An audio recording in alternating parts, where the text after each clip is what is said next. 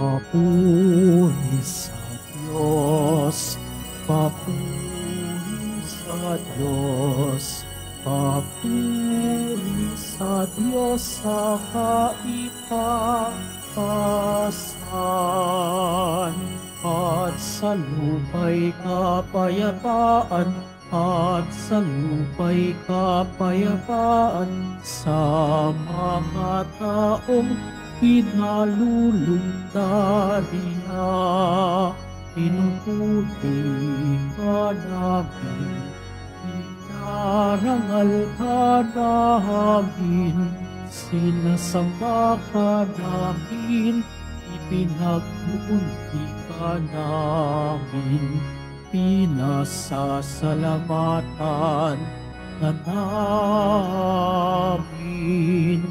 Dahil sa dakila mong ang pingkapurihan, Panginoong Diyos, Hari ng langit, Diyos amang makapangyarihan sa lahat, Panginoong Yesu Kristo, bugtong na anak, Panginoong Diyos, Kordero ng Diyos, anak ng Ama.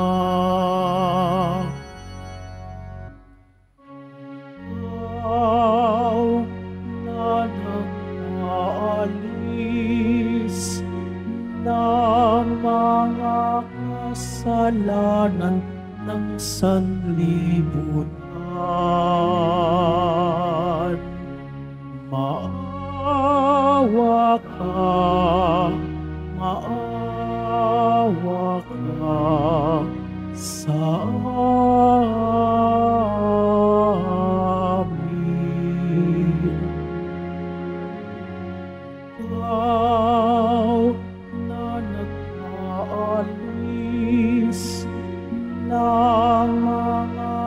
kasalanan ng sanlibutan.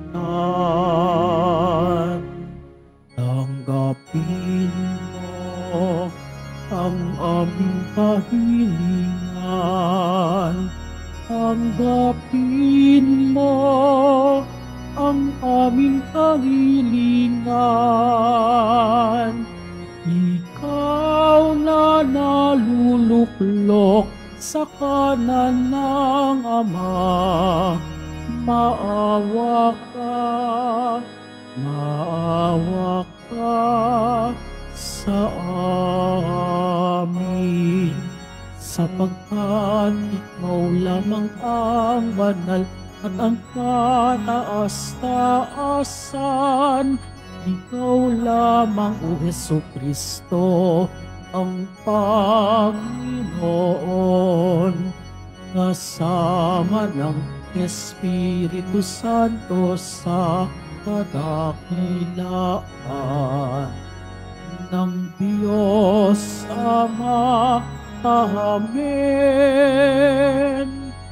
Ng Diyos Ama. Amen. Papuri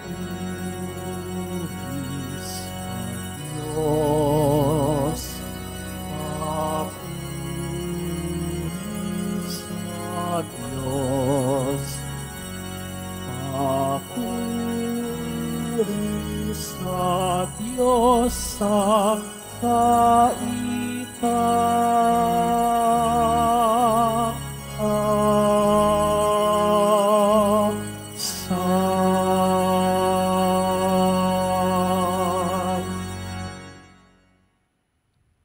Manalangin tayo. Ama naming makapangyarihan, itinakda mong ang lahat ng utos mo ay mauwi sa pag-ibig sa iyo at sa kapwa-tao. Ipagkaloob mong sa pagtalima naming sa mga ito, kami pagindapatin mong sumapit sa buhay na walang katapusan sa pamamagitan ni Kristo kasama ng Espiritu Santo, magpa sa walang hanggan. Amen. Magsupo muna pong lahat.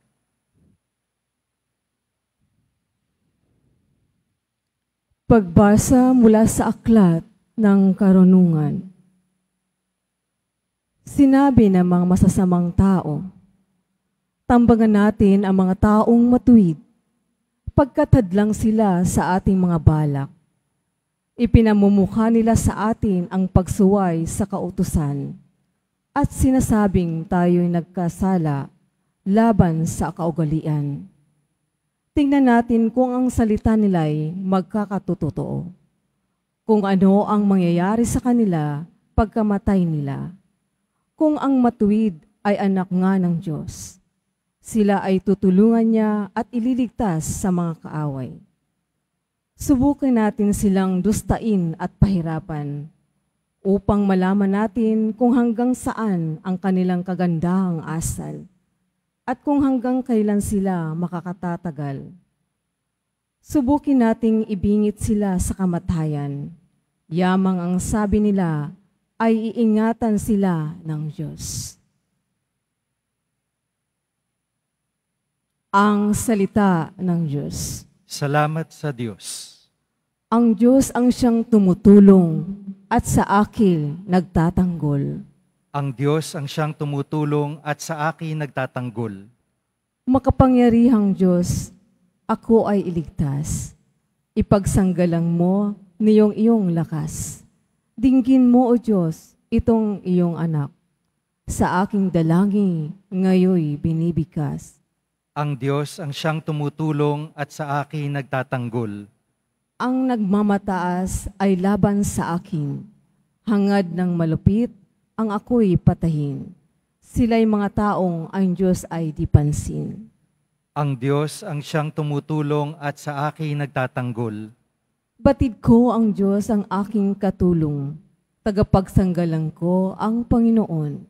Buong galak naman akong maghahandog ng pasasalamat sa Panginoong Diyos dahilan sa kanyang mabuting kaloob. Ang Diyos ang siyang tumutulong at sa akin nagtatanggol.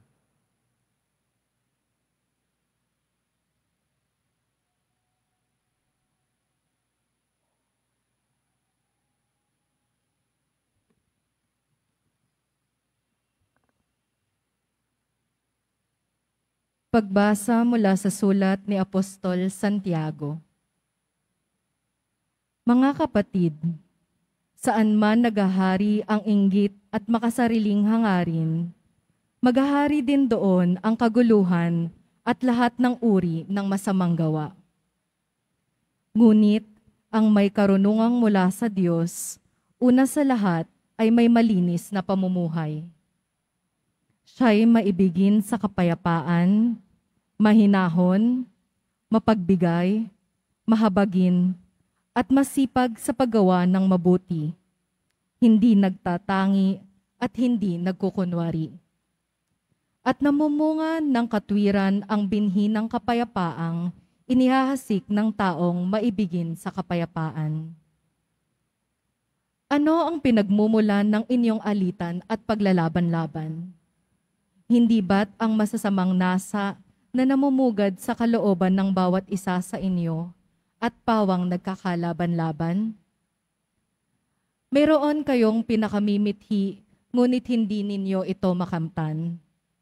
Kaya't papatay kayo kung kailangan mapasa inyo lamang ito. Dahil sa inyong pag-iimbot sa mga bagay na hindi inyo, kayo'y nagkakagalit at naglalaban-laban hindi ninyo makakamtan ang inyong minimithi sapagkat hindi kayo humihingi sa Diyos. At humingi man kayo, wala rin kayong natatanggap sapagkat masama ang inyong layunin. Humihingi kayo upang gamitin sa kalayawan. Ang salita ng Diyos. Salamat sa Diyos. Magsitayo po ang lahat.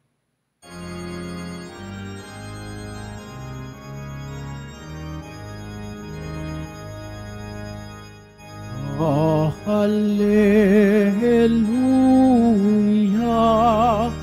Hallelujah. Hallelujah. Hallelujah.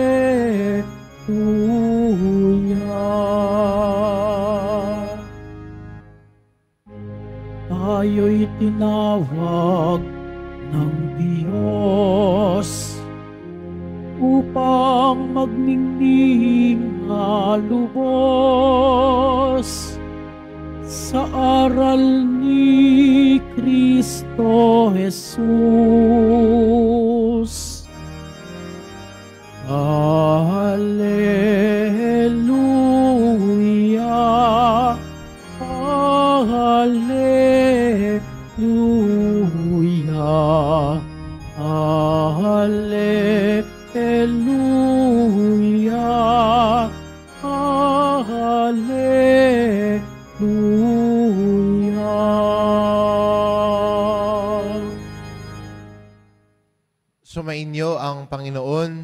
At sumayo ang mabuting balita ng Panginoon ayon kay San Marcos. Papuri sa iyo, Panginoon. Noong panong iyon, si Jesus at ang kanyang mga alagad ay nagdaan sa Galilea. Ayaw ni Jesus na malaman ito ng mga tao sapagkat tinuruan niya ang kanyang tinuturuan niya ang mga alagad. Sinabi niya, ang anak ng tao ay ipagkakanulo at papatayin, ngunit muling mabubuhay sa ikatlong araw. Hindi nila naunawaan ang sinabi niya, ngunit takot naman silang magtanong sa kanya. At dumating sila sa Kapernaum.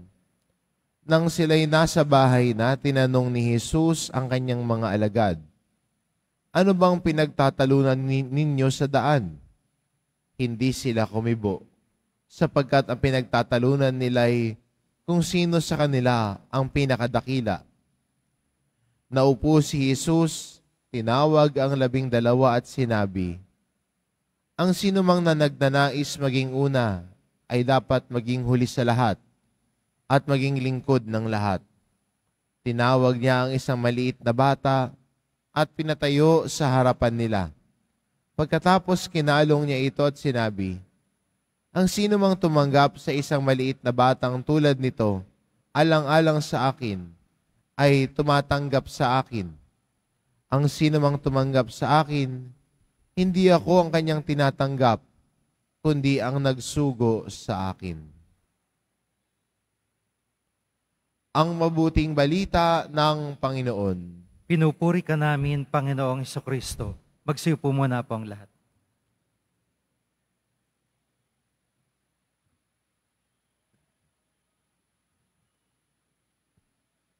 Marahil ay natural siguro sa tao ang pagkaroon ng karangalan at kadakilaan.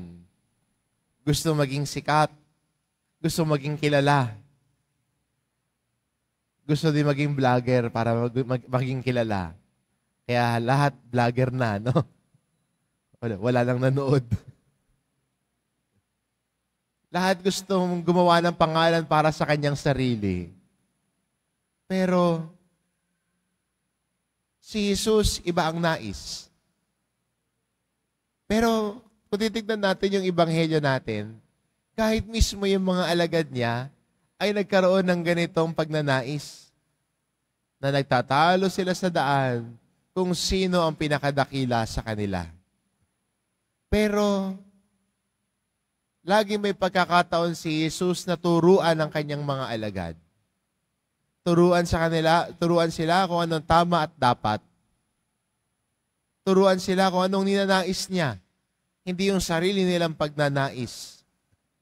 Kaya sa ating ibanghelyo, nung nalaman ni Jesus iyon, tinawag niya ang lamang dalawa at sinabi sa kanila, kung sino man ang gusto maging una, ay dapat maging huli at lingkod ng lahat.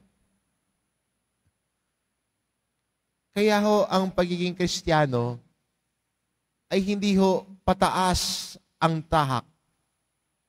Pataas at pagiging dakila, pagiging sikat, kundi ang, ang pamumuhay ng isang kristyano, ang paglago niya ay hindi ho paangat siya ng paangat, kundi pababaho siya ng pababa. Handang bumaba para maglingkod handang bumaba para ialay ang sarili. Handang bumaba para ibigay ang kanyang kung ano ang meron siya. handang bumaba para maglingkod. At ang tao naglilingkod, hindi niya sinasabing ako ang masusunod, kundi ako ang susunod. Ang taong handa mag-alay ng sarili, hindi nagsasabing, ako dapat ang masunod dito, ako ang pakikinggan, kundi ang tao naglilingkod sa lahat, ako ang nakikinig at, nagli, at naglilingkod. At ang pinakikinggan ng tao naglilingkod ay si Jesus. Kaya ho, ang isang lingkod, hindi niya sinasabing, ako dapat ang masunod, ako dapat ang sundin ng lahat, kundi kung gusto nating lumago sa ating pagmamahal sa Diyos at pananampalataya, bukas ang ating tenga at nagsasabing, Panginoon, nakikinig ako sa iyo. Panginoon, ikaw ang susundin ko. Panginoon, sa iyo iaalay ang sarili ko. Kaya ho, ang buhay na naglilingkod, hindi lang ho nakikinig at sumusunod, pero higit din ho sa lahat, ang taong buong puso din naglilingkod, kusang loob na ibinibigay ang sarili. Tulad ng pinakita ni Jesus sa pag-aalay niya ng sarili niya dahil sa tindi ng kanyang pagmamahal, kusang loob niyang ibinigay ang sarili niya. E maganda rin sa atin bilang mga Kristiyano, ang nagdatao nagnanais na, na maglingkod, hindi ho pinipilit maglingkod. Kundi kusang loob na ibinibigay ang sarili para maglingkod. Hindi ho tinuturo. Hindi ho na pag-uutusan lamang. Pero kasama sa buhay na naglilingkod, kusang nag-aalay at nagbibigay. Kaya maganda para sa atin no, bilang Kristiyano, taglay ang hamon na ito ni Jesus sa atin. Kung gusto mo maging dakila sa kaharian ng Diyos, hindi sa pagiging sikat, hindi sa pagkakaroon ng posisyon o pagiging kilala, kundi ang buong puso na paglilingkod at handang sabihin, limutin ang sarili. Limutin ang sariling pangalan. Limutin ang sariling karangalan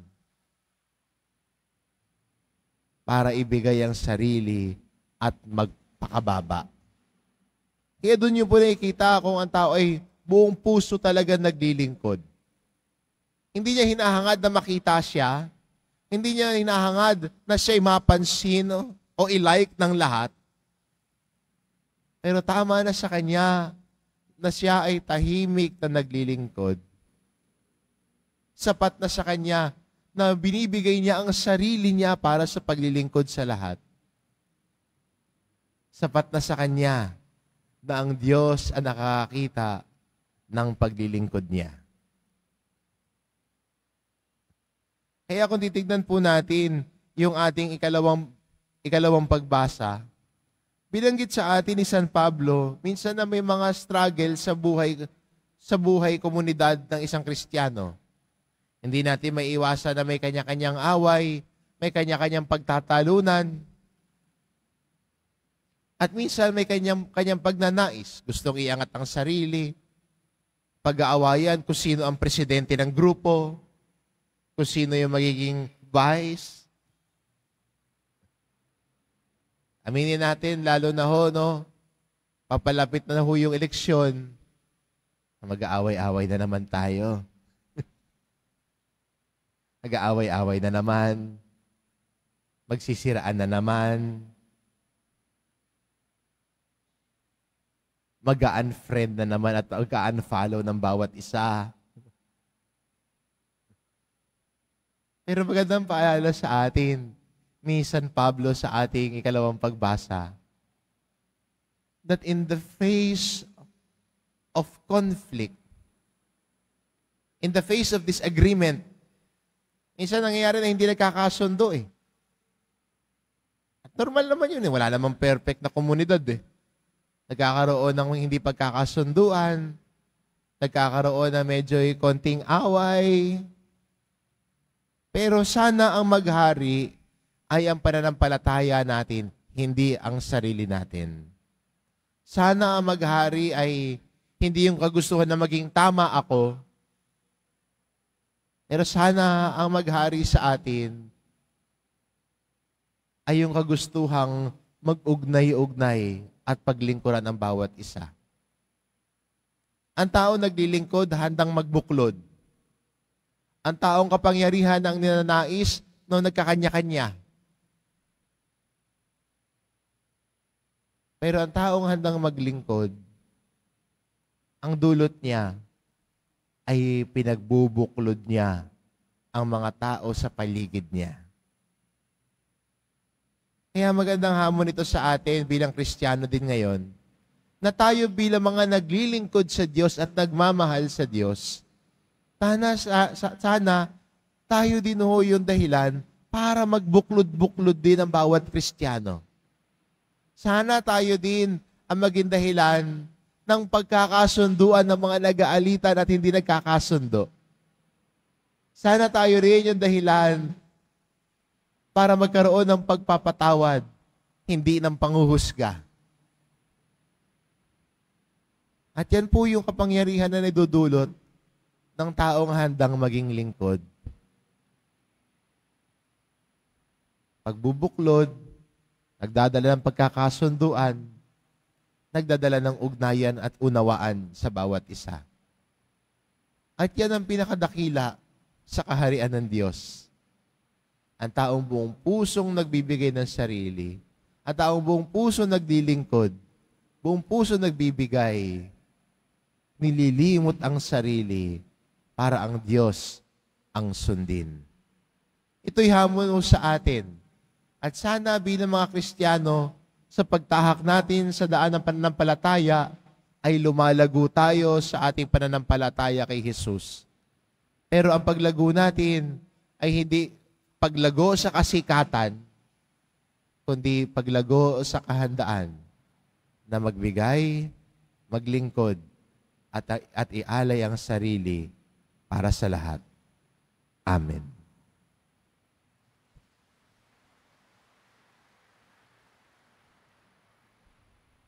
Magsitayo po tayong lahat.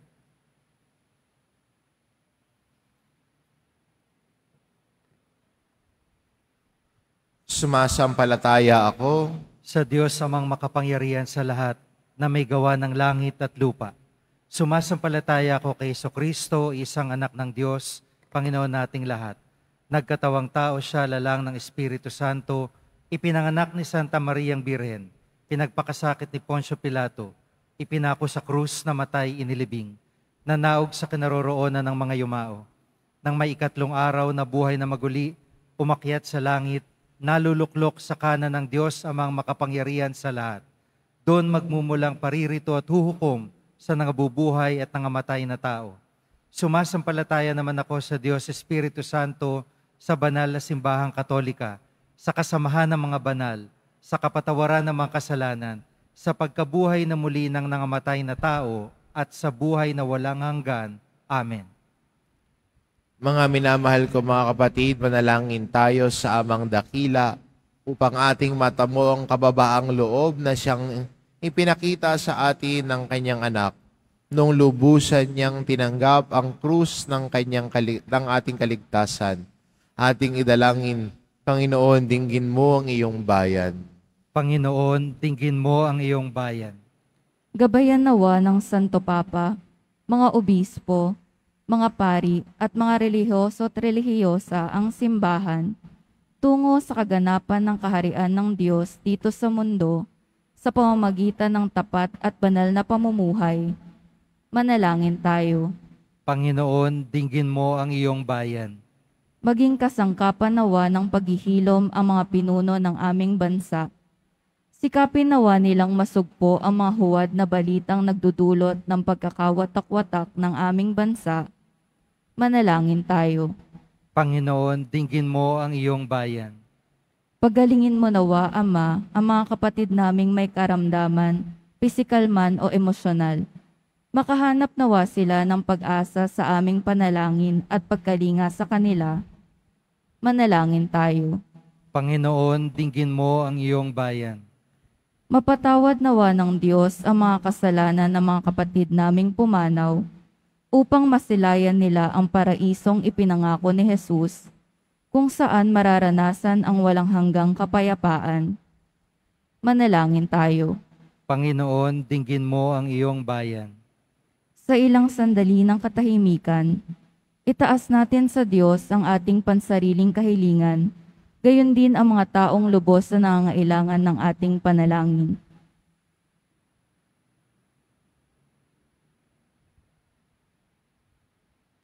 Manalangin tayo. Panginoon, dinggin mo ang iyong bayan. Panginoon, ipagkaloob mo ang kahilingan ng iyong bayan, puspusin mo kami ng pag-ibig upang makapamuhay kami sa paraang kalugod-lugod sa iyo. Hinihiling namin ito sa pamamagitan ni Kristong aming Panginoon. Amen. Magsupo muna po ang lahat.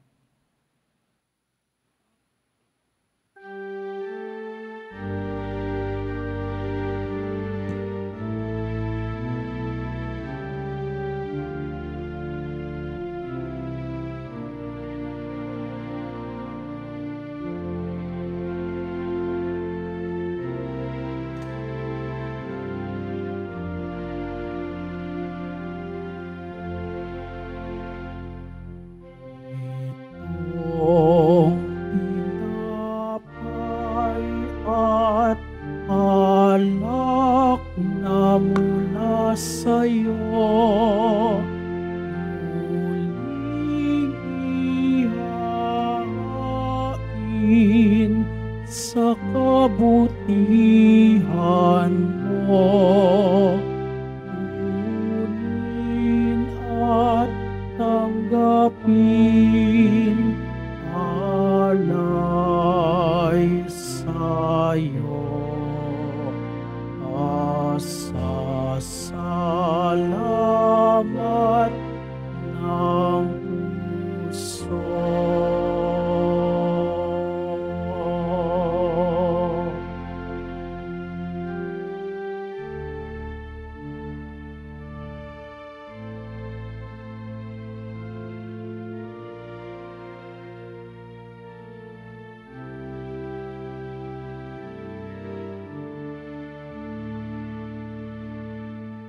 Magsitayo po ang lahat.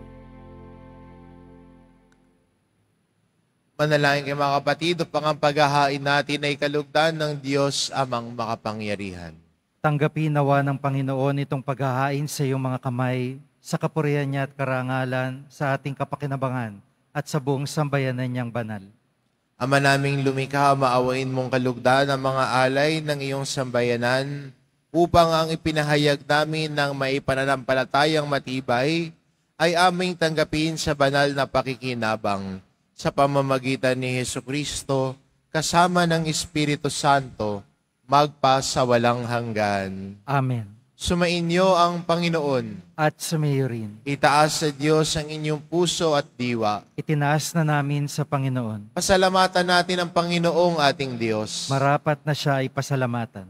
Ama naming makapangyarihan, tunay ngang marapat na ikaw ay aming pasalamatan sa pamamagitan ni Heso Kristo na aming Panginoon.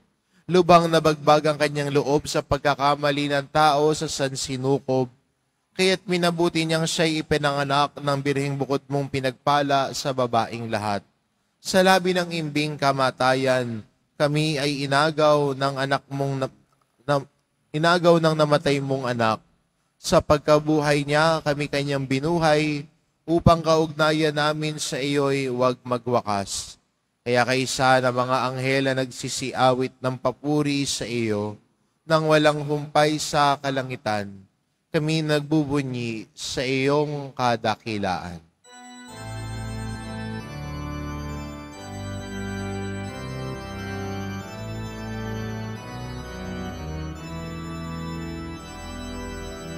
Santo, Santo, Santo, Panginoong Diyos ng mga hukbo. Napupuno ang langit at lupa nagkadakilaan mo.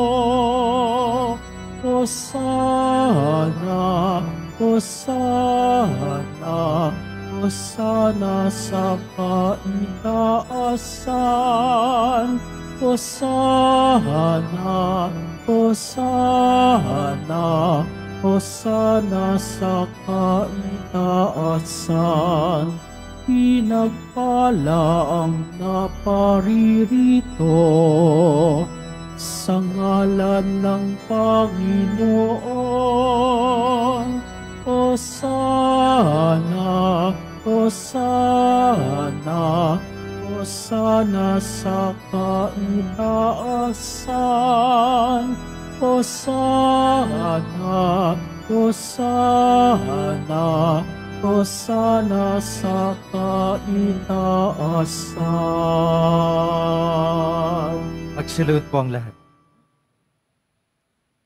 Ama naming banal, ikaw ang bukal ng tanang kabanalan, kaya't sa pamamagitan ng iyong Espiritu gawin mong banal ang kaloob na ito, upang para sa amin maging katawan at dugo ng aming Panginoong Heso Kristo. Bago niya pinagtiis ang kusang loob na maging handog, hinawakan niya ang tinapay, pinasalamatan kanya. Pinagati-hati niya iyon, iniabot sa kanyang mga alagad at sinabi, Tanggapin ninyong lahat ito at kanin. Ito ang aking katawan na iyahandog para sa inyo.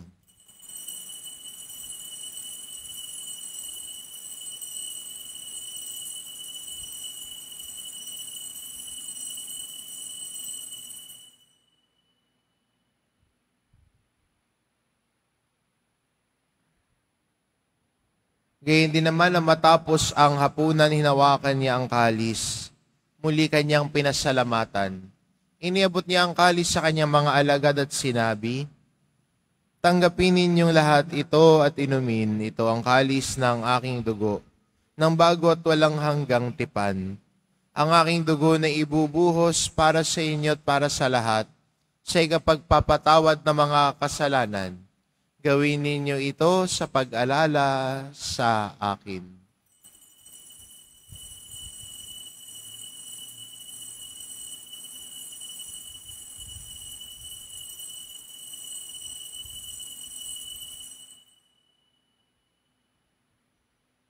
Magsitayo po ang lahat. Ipagbunyi natin ang misteryo ng pananampalataya. Si Kristo'y namatay, si Kristo'y nabuhay, si Kristo'y babalik sa wakas ng panahon. Ama, ginagawa namin ngayon ang pag-alala sa pagkabatay at muling pagkabuhay ng iyong anak. Kaya tinaalay namin sa iyo at tinapay na nagbibigay buhay at ang kalis na nagkakaloob ng kaligtasan. Kaming nagpapasalamat dahil kami iyong minarapat na tumayo sa harap mo para maglingkod sa iyo. Isinasamo namin kaming magsasalo-salo sa katawan at dugo ni Kristo ay mabuklod sa pagkakaisa sa pamamagitan ng Espiritu Santo. Ama, lingapin mo ang iyong simbahang laganap sa buong daigdig. Puspusin mo kami sa pag-ibig, kaisa ni Francisco na aming Papa at ni Jose na aming Obispo at ng Tanang Kaparian. Alalahanin mo rin ang mga kapatid naming nahimlay na may pag-asang sila'y muling mabubuhay, gayon din ang lahat ng mga pumanaw. Kaawaan mo sila at patuloyin sa iyong kaliwanagan. Kaawaan mo at pagindapatin kaming lahat na makasalo sa iyong buhay na walang wakas. Kaisa ng mahal na Birheng Maria na ina ng Diyos, ng kabiyak ng puso niyang si San Jose, kaisa ng mga apostol at ng lahat ng mga banal, na namuhay dito sa daigdig ng kalugod-lugod sa iyo, maipagdiwang nawa namin ang pagpupuri sa ikararangal mo sa pamamagitan ng iyong anak na aming Panginoong Heso Kristo. Sa pamamagitan ni Kristo kasama niya at sa Kanya, ang lahat ng parangal at papuri ay sa iyo, Diyos amang makapangyarihan, kasama ng Espiritu Santo, magpa sa walang hanggan. Amen. Amen. Amen.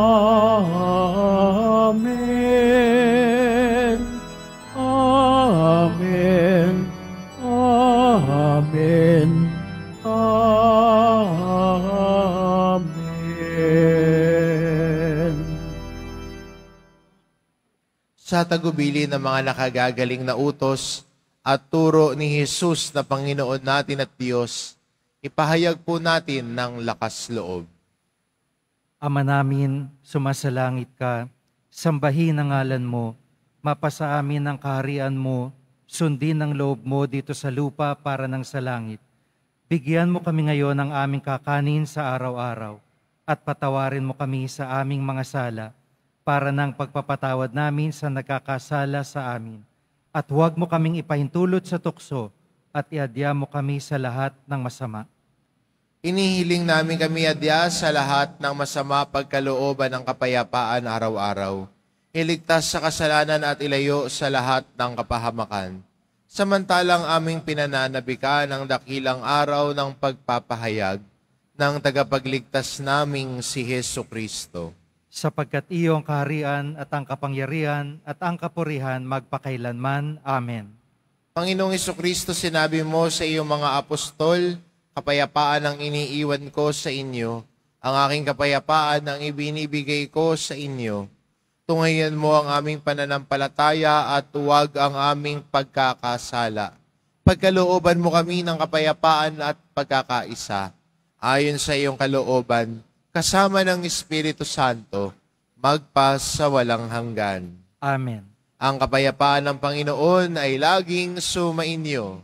At sa Mary, Magbigayan kayo ng kapayapaan sa isa't isa.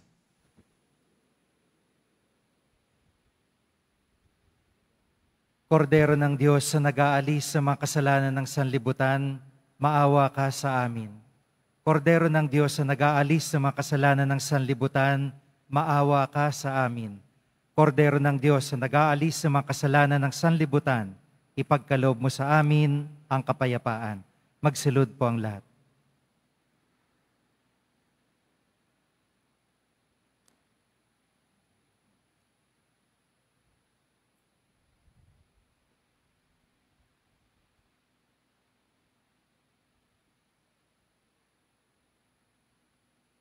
Ito ang kordero ng Diyos, ito nag-aalis ng kasalanan ng sanlibutan.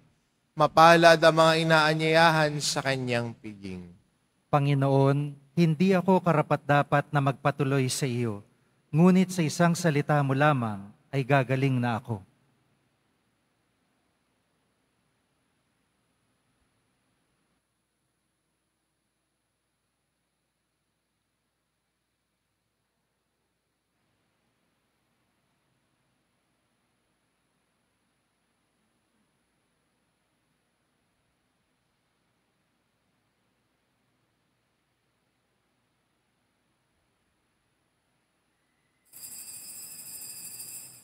Para po sa lahat ng tatanggap ng banal na komunyon, sasagot po tayo ng Amen pagkasabi ng pare o lay minister ng katawan ni Kristo.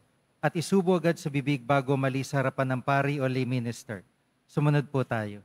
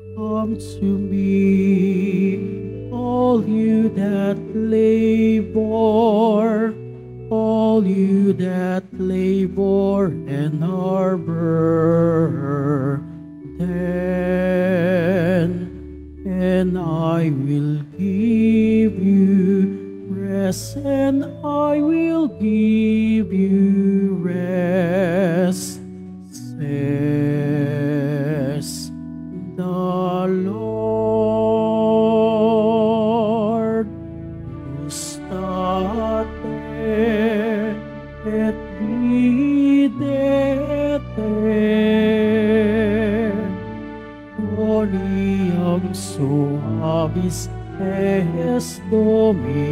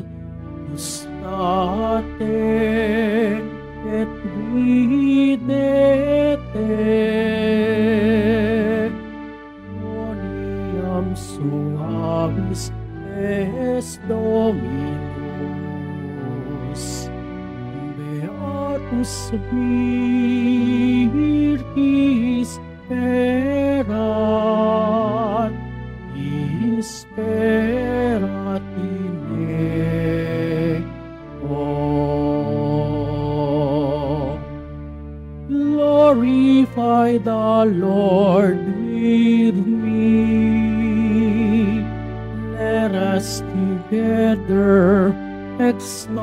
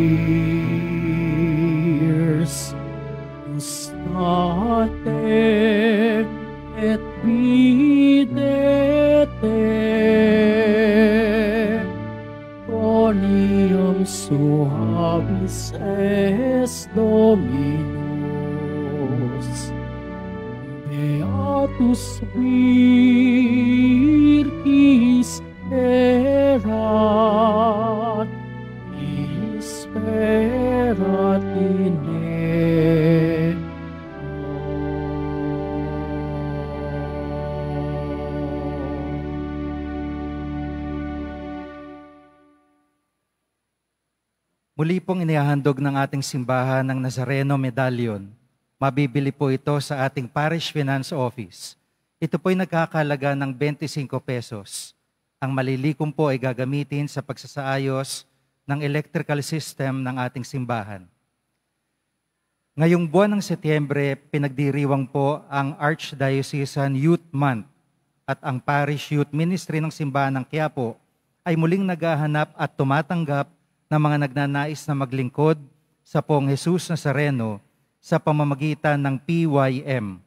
Inaanyayahan po namin ang mga kabataan na may edad 13 hanggang 24 na taong gulang na sumali sa Parish Youth Ministry at Young Adult Ministry. Maaari niyong bisitahin at i-message ang official Facebook page ng PYM Quiapo o scan ang QR code na makikita sa ating mga LED screen. Magsitayo po tayong lahat. Manalangin tayo. Ama naming mapagmahal, kaming pinapagsalo mo sa banal na pakikinabang, ay patuloy mong kaawaan at tulungan upang ang aming tinanggap ay siya namang umiral sa pamumuhay namin sa araw-araw, bunga ng iyong pagtubos na aming ipinagdiriwang sa pamamagitan ni Heso Kristo kasama ng Espiritu Santo magpa sa walang hanggan. Amen. Sumainyo ang Panginoon. At sa rin. Mahal na pong Isus Nazareno, inihayag mo sa pamamagitan ng krus ang walang maliw na pag-ibig ng Diyos sa sangkatauhan. Pakinggan mo ang kahilingan ng iyong angka na nagsusumamo sa iyo. Makamtanawa nila ang iyong katugunan at tanggapin ang kasagutan na may utang na loob na tinatanaw. Basbasan din po ninyo ang mga may daladala nilang imahin at dasalan sa pamamagitan ng bendisyon na ito naway maalala nila ang mga pangako nila noon sa binyag na ikaw ang kanilang iibigin at paglilingkuran bilang Panginoon magpas sa walang hanggan. Amen. At pagpalain kayo ng ating mapagmahal na Diyos, ang Ama at ang Anak at ang Espiritu Santo. Amen. Umayo kayo, taglay ang kapayapaan ng poong Jesus Nazareno. Salamat sa Diyos.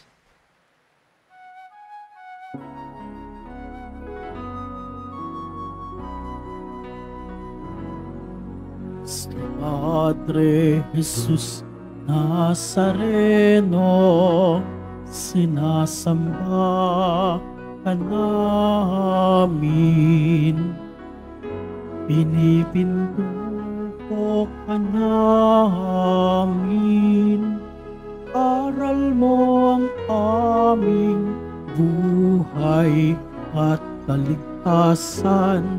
Nuestro Padre Jesus Nazareno, iligtas mo kami sa kasalanan. Ang krus mong pinamatayan ay sagisag ng aming kaligtasan.